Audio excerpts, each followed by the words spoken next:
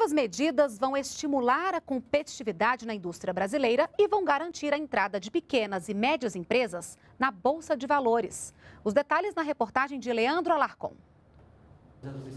Entre os pontos tratados está a remodelação do Refis, o programa de parcelamento de débitos tributários. As novas condições favorecem a quitação das dívidas. Agora, dívidas de até um milhão de reais podem ser parceladas com uma entrada de 5% do valor. Dívidas acima de 1 milhão até 10 milhões podem ser parceladas com uma entrada de 10% do valor.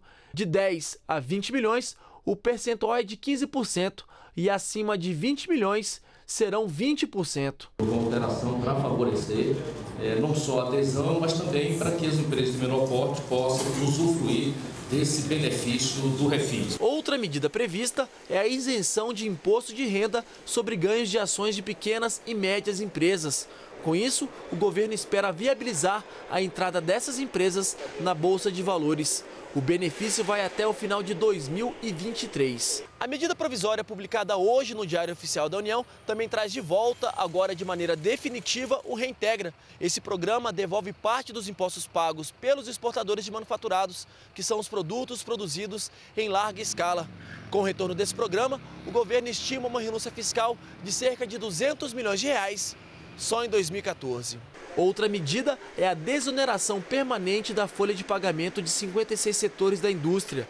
A renúncia fiscal do governo, com essa medida, chega a quase 24 bilhões de reais só em 2015. São medidas que né, é, dão continuidade né, à, à, nossa linha de atuação, buscando principalmente é, a redução de custos produtivos, incentivando a, né, o crescimento da indústria, a melhoria da competitividade da nossa economia.